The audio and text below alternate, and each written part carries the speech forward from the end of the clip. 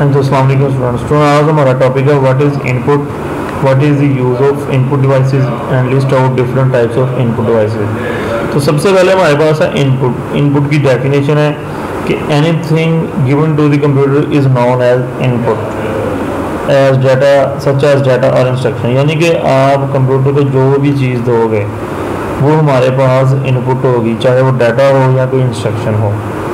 तो दो तरह से आप कंप्यूटर को इनपुट दे सकते हो। एक होती है डायरेक्ट इनपुट और एक होती है इनडायरेक्ट इनपुट तो इनडायरेक्ट डायरेक्ट इनपुट में हमारे पास जो डाटा होता है, वो डायरेक्टली कंप्यूटर के पास जाता है। यानी कि जब आप एक डिवाइस से डाटा एंटर करते हो तो वो डायरेक्टली कंप्यूटर के पास जाता है। दरमियान में कोई दूसरी डिवाइस नहीं आती। उसकी एग्जांपल है कि जैसे आप माइक में बोलते हो माइक में आप बोलते हो। तो वो जो माइक होता है, वो डायरेक्ट आपकी आवाज़ कंप्यूटर तक लेके जाता है। और इसके अलावा इसकी एग्ज़ाम्पल है स्कैनिंग डिवाइस है डिजिटल कैमरा है माइक्रोफोन है। इंटरेक्ट इनपुट में क्या चीज़ है? इंटरेक्ट इनपुट में एक इंटरमीडिएट यानी कि दरमियान में एक डिवाइस होती है, जो कि इस सारी मसले को हैंडल कर रही होती है। जैसे कि कीबोर्ड है कीबोर्ड से जब आप डाटा एंटर करोगे या माउस से आप डाटा एंटर करोगे तो कंप्यूटर को नहीं पता मेरे पास कौन सा वर्ड आ रहा है। वो दरमियान में एक डिवाइस होगी, वो आपकी रैम या कोई भी जो उसको समझाएगी कि ये तुम्हारे पास कौन सी कमांड आई है। अगर इनपुट डिवाइसेस आ गई।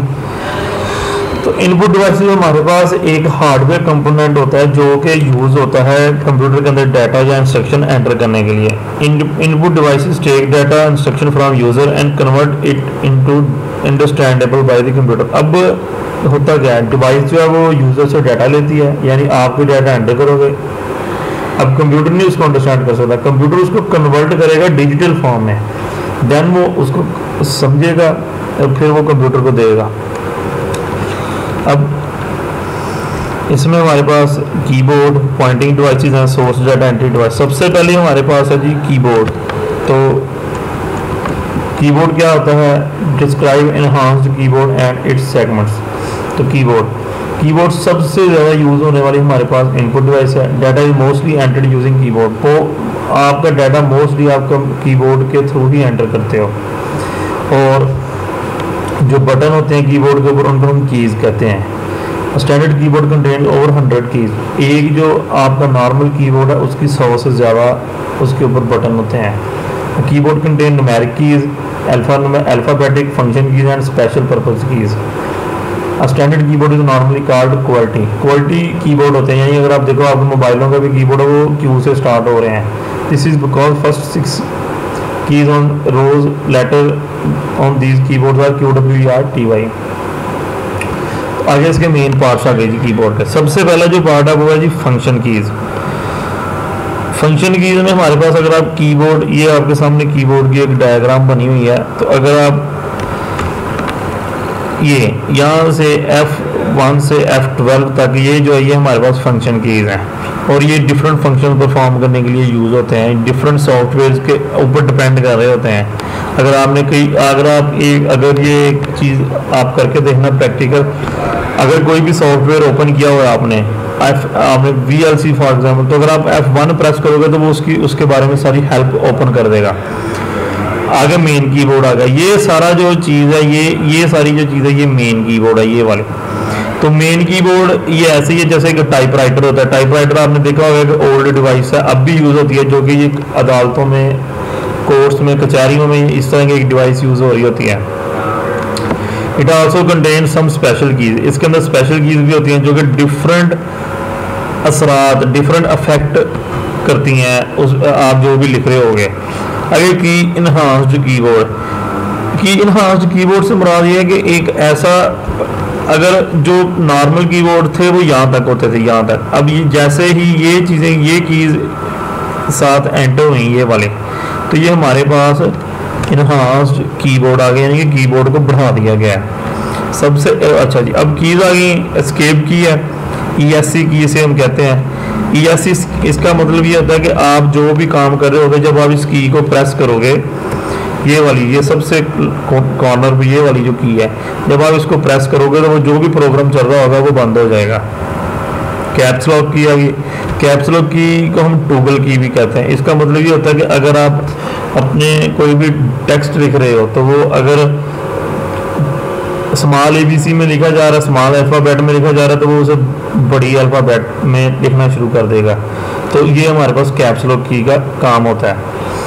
टैब की आ गई टैब की क्या काम करती है? कर्सर को आगे मूव करती है। फाइव स्पेसिस फाइव स्पेसिस आगे मूव कर दिया ऐसे शिफ्ट की है।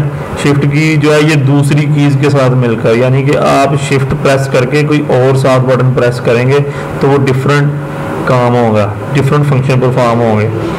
कंट्रोल कीज कंट्रोल कीज का भी यही काम है, वो भी दूसरे बटन के साथ मिलकर काम करती है। जैसे कि अगर आप कंट्रोल ओ करते हो तो वो ओपन करती है कंट्रोल से एस करते हो तो वो उसे सेव करता है।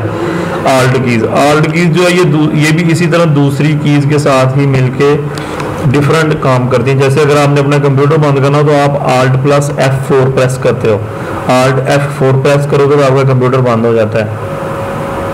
बैक स्पेस काम क्या करती है? बैक स्पेस वही काम करती है, जैसे कि अगर आपने लिखा है तो लेफ़्ट साइड से एक करेक्टर डिलीट कर देगी। जैसे अगर आप मैसेज लिखते हो तो अगर आपसे गलत लिखा जाए तो आप वो क्रॉस का बटन या बैक स्पेस प्रेस करते हो तो उसको पीछे की तरफ़ लेके जाती है।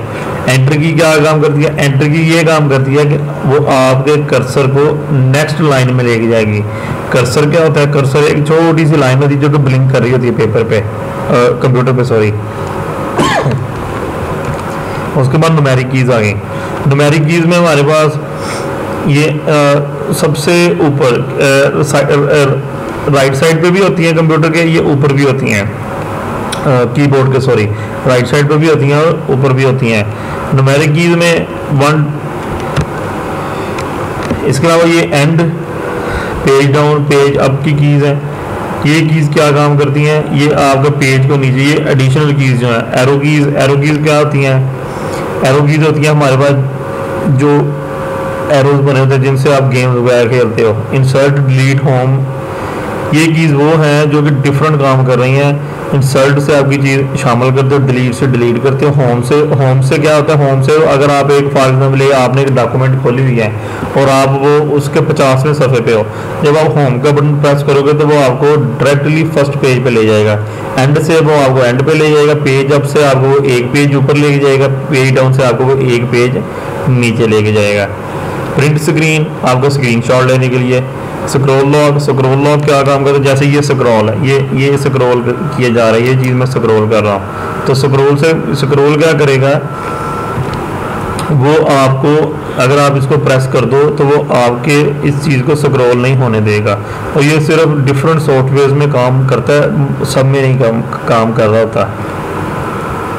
उसके बाद हमारे पास पॉज और ब्रेक की। पॉज और ब्रेक की क्या काम करती है? वो आप जो, ये जो स्पेस का बड़ा बटन होता है, इससे आप कोई मूवी को रोकते हो, चलाते हो तो ये हमारे पास ये काम करती है। नेक्स्ट हम इंशाल्लाह पढ़ेंगे जी पॉइंटिंग डिवाइसेस हमारे पास क्या होती हैं? Thank you